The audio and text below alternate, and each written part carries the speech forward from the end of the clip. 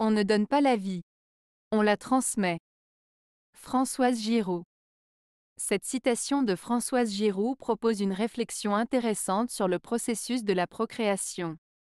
En effet, elle met en évidence le fait que la vie ne peut être créée à partir de rien, mais qu'elle est plutôt transmise de génération en génération. Cette idée souligne l'importance de la filiation et de l'héritage dans la construction de notre identité et de notre place dans le monde. De plus, cette citation peut également être interprétée comme une invitation à la responsabilité des générations futures. En effet, si nous ne créons pas la vie, nous sommes responsables de sa transmission et de sa préservation pour les générations à venir.